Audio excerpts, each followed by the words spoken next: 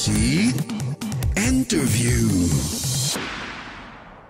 สวัสดีครับ สวัสดีชาวซีนะฮะ มาเจอผมดีเจเดนะครับ แล้วก็วันนี้นะครับเรามีทั้งผู้กำกับนักแสดงนะครับ แล้วก็ศิลปินนะครับจากโครงการดีๆนะครับ วันนี้ขอต้อนรับทุกท่านเลยครับ สวัสดีครับ สวัสดีครับ สวัสดีครับวันนี้มาในโครงการคีตะราชนิพนธ์บทเพลงในดวงใจราชครับ โอ้โห เดี๋ยวให้แนะนำตัวกันหน่อยดีกว่าว่าใครเป็นใครกันบ้างที่มาในวันนี้ครับ สวัสดีครับ ผมศิลป์ครับยงยุทธทองกระทุนพุ่มกับภาพยนตร์ตอนดาวครับ ได้แรงบันดาลใจจากบทเพลงพระราชนิพนธ์ความฝันสูงสุดครับ ผมเล่นฟุตบอลไม่ได้เรื่อง ผมก็สอบไม่ได้ที่หนึ่ง ผมก็อยากทำอะไรให้พ่อภูมิใจในตัวผมบ้าง สวัสดีครับนนท์ชานนท์สันตินทรกุลครับ เป็นนักแสดงในเรื่องใช่โอมยิ้มแต่ละแรงบันดาลใจมาจากเพลงพระราชนิพนธ์ยิ้มสู้ครับ นายยิ้มได้ด้วยเหรอ แล้วทำไมถึงคิดว่าผมไม่ยิ้มล่ะ บางครั้งผมก็อิจฉาคนอื่นนะ เวลาที่เห็นเขายิ้มด้วยกันหัวเราะด้วยกัน สวัสดีค่ะนิรนุชปัทมสูตรค่ะ เป็นนักแสดงจากเรื่อง The Singers แรงบันดาลใจจากเอ่อเพลงพระราชนิพนธ์ชะตาชีวิตค่ะ เสียงดีแล้วเป็นไงร้องเพลงมันช่วยให้หลานหาย มันช่วยให้มีกินไหม สียงฉันมันไม่มีค่ากับใครหรอก ฉันจะร้องให้ใครฟังได้ ครับสวัสดีครับผมโอภาคภูมิวงศ์ภูมิครับ เป็นผู้กำกับตอนฝนตกที่ห้วยขาแข้งครับ ได้รับแรงบันดาลใจมาจากเพลงพระราชนิพนธ์เอ่อสายฝนครับ ผมขอพูดในนามของสัตว์ป่าทั้งหลาย พวกคุณรู้กันไหมว่า มีสัตว์ป่าจำนวนมากเท่าไหร่ที่ต้องสังเวยชีวิตของพวกมัน เพื่อความสะดวกสบายของมนุษย์ ผมอยากจะให้ทางฝ่ายคัดค้านเปิดใจให้กว้างในส่วนผลกระทบที่จะเกิดขึ้นนั้น มันเป็นส่วนเล็กน้อยมากครับ ไม่รับผิดชอบ ถ้าเราปล่อยเขตอนุรักษ์พันธุ์สัตว์ที่ดีที่สุดของเราให้คนอื่นทำลาย ก็อย่าหวังเลยว่าเราจะรักษาป่าของเมืองไทยไว้ได้ครับผมผมต้อมวราวุฒิครับผมเป็นหนึ่งในศิลปินที่ร่วมขับร้องบทเพลงพระราชนิพนธ์สี่สี่เพลงนี้นะครับผมค่ะ สวัสดีค่ะ แก้ววิชยานีค่ะ สวัสดีครับ ผมกันนพัฒน์ครับ สวัสดีครับดวงจันทร์วัฒน์ครับอะมาพูดถึงโครงการนี้ดีกว่านะคครัรับบผมตัวพี่ศิลป์เองก็คือเป็นผู้กำกับครับนะครับ เป็นยังไงบ้างสำหรับเรื่องนี้ครับ ครับ ก็ตอนแรกที่ถูกชวนมาทำโครงการนี้ก็ดีมากเลยครับ เพราะว่าเอ่อ โจทย์ของเราอย่างเดียวเลยคือว่าให้เราเลือกได้เลยตามใจชอบว่าเราเลือกเองได้เลย ใช่เลือกว่าเราได้เราชอบเพลงพระราชนิพนธ์เพลงไหนครับและให้เราไปอินสปายแล้วไปคิดเรื่องแล้วหาวิธีนำเสนอมาครับได้เลย คือโดยที่ไม่ต้องจำกัดกรอบอยู่เดิมๆครับ เพราะว่าเป้าจุดประสงค์อันหนึ่งของโครงการนี้ก็คือ อยากจะถ่ายทอดให้เอ่อคนรุ่นใหม่ ๆ ได้สามารถได้รู้จักเพลงพระราชนิพนธ์แล้วก็ได้รับแรงบันดาลใจดีจากบทเพลงพระราชนิพนธ์ โดยโดยอยากให้โดยเฉพาะอย่ายิ่งอยากเน้นให้เกิดคนรุ่นใหม่ได้ได้ทราบซึ้งกับตรงนี้มากขึ้นครับเพราะฉะนั้นก็เลยเป็นโครงการที่น่าสนุกมาก เพราะว่ามีอิสระค่อนข้างเต็มที่ แต่ว่าขณะเดียวกันเราก็ต้องเลือกว่าเราจะต้องทำออกมาที่จะสามารถถ่ายทอดความหมายดีๆ จากบทเพลงพระราชนิพนได้ แล้วก็ความหมายดีของนั้นส่วนใหญ่แล้วก็จะเป็นลักษณะของการสร้างให้เกิดแรงบันดาลใจใหม่ ๆ ครับผมผมก็เลยเลือกเพลง ความฝันอันสูงสุดขึ้นมาครับผม โดยที่ถ่ายทอดผ่านตัวละครเด็กๆแทน เพราะว่าโดยทั่วไปแล้วคนเราจะรู้ส่วนใหญ่จะรู้จักเพลงความฝันสูงสุดในในค่อนข้างที่จะต้องเป็นเรื่องทางการเป็นเรื่องยิ่งใหญ่เป็นนู่นนี่อะแต่เรายังไม่เคยเห็นเลยว่า ถ้าเกิดเป็นเพลงนี้เป็นเด็กๆร้องขึ้นมา ครับ หรือว่าเป็นเรื่องราวที่เกี่ยวกับเด็กๆขึ้นมาเนี่ยมันจะเป็นยังไง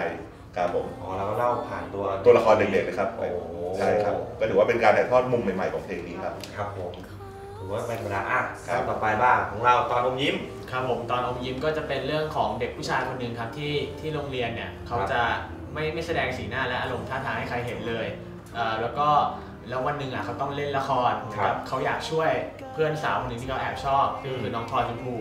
แล้วผู้ชายนั้นก็คือผมเองฮะครับปวดหัวนิดนึงว่าได้เล่นกับน้องพลอยชมพูอันนี้สำคัญความสำคัญตรงนี้ ครับก็แล้วก็ก็เนื่องจากว่าคือไม่เคยมีใครเห็นอารมณ์ของเขาเลยอ่าเขาก็เลยทุกคนก็เลยสงสัยกันว่าไอ้กล้องครับในเรื่องชื่อกล้องครับ กล้องเนี่ยจะสามารถเล่นละครได้จริงหรือเปล่าครับผมคือไม่เคยยิ้มไม่เคยแสดงสีหน้าอะไรเลย ใช่ครับแต่ต้องไปเล่นละครเวทีเพื่อผู้หญิงคนนี้ ใช่ครับโอ้โหต้องไปดูในโรงภาพยนตร์ว่าสุดท้ายแล้วจะเป็นยังไงใช่ครับถึงท่านนี้นุชบ้างครับ ค่ะเอ่อเด็กใช่ไหมคะวัยรุ่นนะคะ ก็มาถึงวัยชรา อืมก็อาวุโสคนแก่นั่นแหละค่ะก็คือมีคนแก่สองคนเอ่อคนหนึ่งชะตาชีวิตอืมมันอับเฉามากครับๆอยากร้องเพลงแล้วก็แล้วก็ไม่ไม่มันมันทำให้ร้องไม่ได้ต่อจากนั้นมาก็ไม่อยากร้องอีกเลย นอกจากให้นกหมูหมาแมวเลยดูไปตามเรื่องอายกลัวแล้วก็มีความกดดันในชีวิตมากยังไง ก็ไม่อยากสู้แล้วชีวิตครับก็มาเจอกับผู้หญิงเอ่อคนแก่อีกคนหนึ่งซึ่งถูกลูกหลานไม่สนใจแล้วถึงจะป่วยก็มาอยู่เจอคนนั้นอยากร้องเพลงมาก แต่ร้องเพลงไม่ได้แล้วเขาป่วย ก็อยากให้ไอ้ตัวเนี้ยมันร้องเพลงมาก เพราะฉะนั้นทำยังไงเราจะสารฝันเขาได้ โดยที่เราจะทิ้งไอ้ไอ้สิ่งที่ที่ทำให้เรากดดันมานานมากแล้ว มันก็จะต้องทำให้ The Singers เกิดขึ้นเป็นสตาร์ชีน่าสนใจมากเลยนะฮะเลยบอกว่าบ้านนินุสก็ร้องสดๆด้วยในภาพยนตร์เรื่องนี้อืมใช่บอกเพราะว่าถ้าไม่ได้ให้ร้องในเรื่องก็ไม่ต้องเล่นก็ได้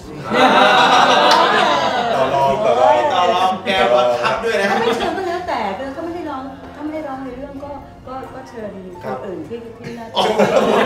ที่ร้องได้ดีกว่ามาเล่นเราก็ให้เขาเลือกในเรื่องจริงอะของเรื่องนี้เป็นผู้กำกับคือพี่อุ๋ยนนทรีนี่โอ้โหกล้าพูดกับเขาไหม่ล่ะโอเคแต่ครัเขาบไม่ได้เป็นคนโทรก็ให้อีกคนโทร สุดยอดจริงๆสำหรับ The Singer นะครับ ของนี่ว่าครับผมผมได้ผมเลือกเพลงอะราชิพลเพลงสายฝนนะครับเพราะว่าเป็นเพลงที่ผมชอบ แล้วพอฟังเนี่ยผมมานึกถึงคุณสืบนะครับเสถียรที่งเป็นหัวหน้าเจ้าหน้าที่หัวหน้าพันธุ์รักษาพันธุ์สัตว์ป่าห้วยขาแข้งนะครับเขาก็ทำคุณูปการประเทศหลายอย่างผมรู้สึกว่าสิ่งที่เขาทำเนี่ยตรงกับพระราชดำรัสของพระบาทสมเด็จพระเจ้าอยู่หัวรู้สึกว่าเอออยากจะเล่าออกมาเป็นภาพยนตร์อะไรเงี้ยครับเพราะว่าช่วงชีวิต 5 ปีสุดท้ายเขาเนี่ยเขาต่อสู้เพื่อผืนป่าเมืองไทยเยอะมาก ทำอะไรไปเยอะมากรู้สึกว่าเอ้ยคนรุ่นหลังต้องได้เห็นชีวิตของเขาอะครับ ก็เลยก็เลยเลือกทำเรื่องนี้ก็คือเป็นเหมือนเป็นคุณชีวประวัติของเขาด้วยเลยเป็นหนังอัตราชีวประวัติของคุณสืบซึ่งในเรื่องรับบทโดยคุณปีเตอร์เชนานครับ ก็ถ่ายทอดออกมาได้ปีเตอร์นพชัยชัยเออนามครับปีเตอร์นพชัยชัยนามครับแข็งแรงมากครับเต็มใช่ครับๆถ่ายทอดอารมณ์แบบใช่เลยใช่ครับก็ไปชมกันได้นะครับ มาถึงที่ สี่ศิลปินของเราบ้างนะครับผมครับ เป็นยังไงกับเพลงนี้เป็นเมดเล่ด้วย ใช่ครับไม่ได้สี่เพลงด้วยกันก็จะมีเพลงพระบาทสูงสุดนะครับผมสายฝนยิ้มสู้แล้วก็สายเออจราชีวิตก็คือทั้งสี่เรื่องนี้เลยใช่ค่ะนำมาทำเป็นเมดเล่ซึ่งจริงๆ นอกจากเราสี่คนจะมีน้องรินด้วย ครับผม ก็เป็นเป็นเอ่อ ต้องบอกว่าพวกเราเหมือนร้องเพื่อประชาสัมพันธ์โครงการนี้ครับคือกลับมาอีกครั้งก็คือได้ได้มีโอกาส คือต้องบอกว่าเป็นโชคดีของพวกเราใช่แล้วใช่ก็เป็นความภาคภูมิใจอีกงานหนึ่งที่พวกเราได้ได้ร่วมทำ ครับผมยากง่ายขนาดไหนสำหรับการร้องเพลงเมดเล่ยากมาก เป็นเพลงรัชจนิพนริงธ์ๆเราเคยฟังมาก่อนอยู่แล้ว แต่ว่าไม่เคยร้องจริงจังแบบนี้ครับ ก็คือคือวันที่อัดเนี่ยคือต้องพยายามทำกันบ้านเรื่องของการเอ่อโน้ตทุกคำเนี่ยมันต้องมีความเป๊ะอยู่เพราะว่าสเกลโน้ตต่างๆเนี่ยมันเป็นสเกลแบบ blue เป็น jazz เป็น blues ใช่มันจะมีแบบโน้ตขึ้นเสียงบ้างอะไรบ้างต้องมีการเอ่อฝึกร้องก่อนก่อนจะอัดจริงสุดท้ายก็ทำได้อย่างเยี่ยมมากๆ แล้วก็ประสานเสียงกันได้เพราะจริงจริงขอบคุณมากครับๆนะครับผมก็ลองไปติดตามฟังกันได้เลยนะครับ ก็มีทั้ง MV ให้ชมกันด้วยใช่ไหมครับใช่ครับยูทูบตอนนี้ก็ปล่อยให้ชมกันแล้วใช่ครับผมนะครับผมแล้วก็โครงการดีแบบนี้นะฮะอย่างที่ บอกนะครับว่าเราเปิดให้คนได้ดูกันแบบฟรีๆเลยต้องครับ เดี๋ยวให้ย้ำอีกทีแล้วกันครับ ครับผมก็ภาพยนตร์เรื่องคีตะราชนิพนธ์บทเพลงในดวงใจราชนะครับ ก็จะกลับมาฉายอีกครั้งนะครับ วันที่ 2-7 ธันวาคมนี้ ทางโรงภาพยนตร์ในเครือ Major Cineplex 80 สาขาทั่วประเทศไทยครับ ครับ ดูฟรีๆกันเลยครับ 3 0 0แสนที่นั่งแต่ว่าในแต่ละท่านที่อยู่ในพื้นที่ไหน